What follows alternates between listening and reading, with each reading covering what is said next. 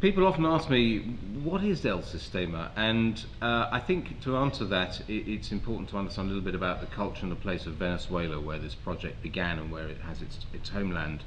It's, um, it started as a project in the mid 1970s, 1975, to give opportunity to Venezuelan musicians who wouldn't otherwise have opportunity to, to be able to play in orchestras and take a proper part in musical life.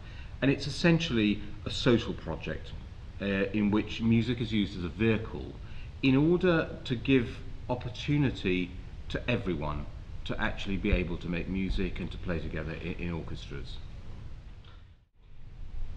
One of the elements that's often debated uh, within Sistema conversations is, is this balance between is it a social project, is it a music project? Uh, and I would say very clearly my feeling is that it is essentially a social project. It's about the social development of us within our own culture and our society. And it uses music, and it uses particularly playing together in orchestras as the vehicle for that. But in the end, I think Maestro Abreu is always very clear. It's about the way that we as individuals in society work together and, and develop.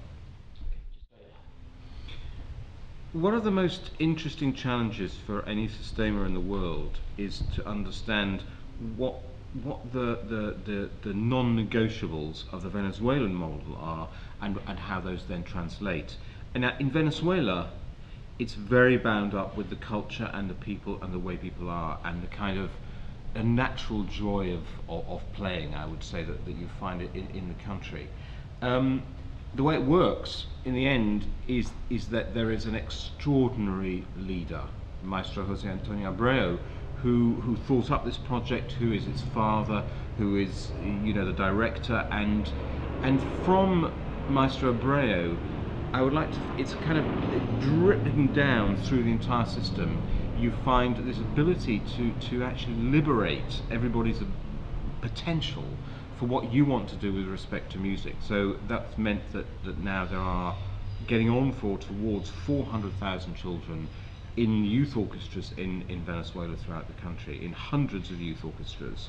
And, and what's very interesting is the way that the Sistema spreads in a, a kind of natural development. So it, it, it's called the Sistema, but actually it's not a system.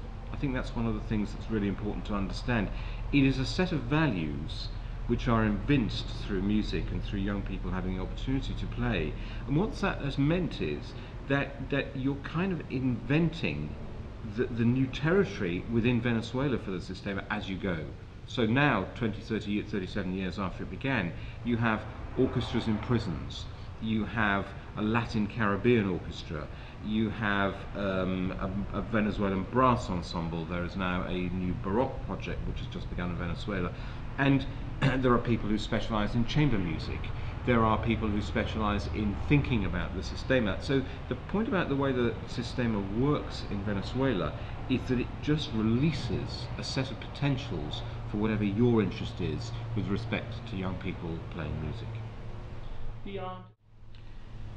I often think that that it's one of the most, uh, if you like, sweet consequences of this essentially social project is the incredible range of orchestras and almost a new school of, of playing and performance which has been thrown up by the Sistema. And although you know, it's a difficult act for the best orchestras in Venezuela, the Simon Bolivar, the Teresa Carreño orchestras, to compete with the Berlin Philharmonic and the Vienna Philharmonic and orchestras of that sort. I think they do compete, and actually they are preeminent in a kind of uh, power and commitment of performance which comes out from those orchestras. And so one of the extraordinary things here is that you've actually, this, this country, Venezuela, has musically achieved a kind of preeminence in orchestral performance in the world you know, in a mere quarter of a century and more, when you think that the great orchestras have taken hundreds of years to, to move towards that. So that's, that's one aspect of the musical achievement of, of the Venezuelan sistema.